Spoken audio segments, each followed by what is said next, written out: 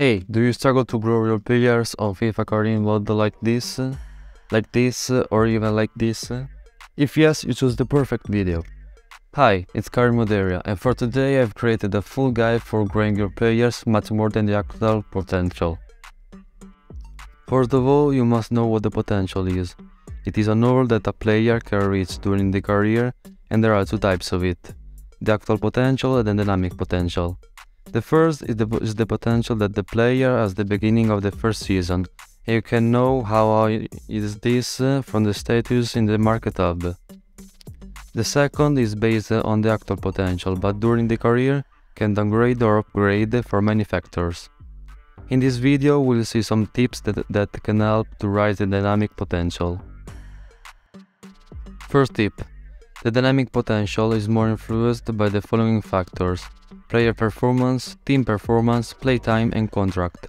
For the player and team performance, you have to make sure the player and the team are performing well.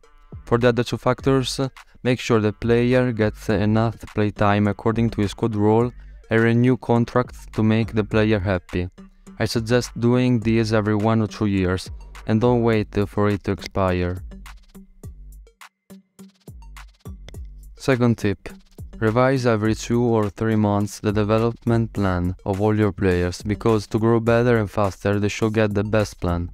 So make sure that a player doesn't, get, doesn't have the same one for an entire year or more. But pay attention to this. The quickest plan means that it will grow faster, but uh, the overall of a player is of vital importance if he has very low attributes. Indeed, I suggest training the player on his weaknesses too. Third tip. Perform with an A or a B in all training sessions that appear most frequently, because these develop the sharpness of a player which, uh, in a certain way, helps to grow your, your players.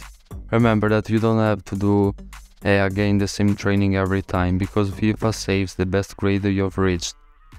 I suggest creating two starting 11, one with the, the best players uh, and another with low rated players that you want to grow. I suggest alternating the two squads for the training session because uh, it trains the players that are in the starting 11. Fourth tip. If you can, don't sim the matches, it's much better if you play them. The reason for this is linked to the player and team performance that I've previously said. Fifth tip. Check if the player plays in his best position. If not, change it so we can get an over upgrade. If you don't know which is his best position, uh, try this. Go to team management and pick the player.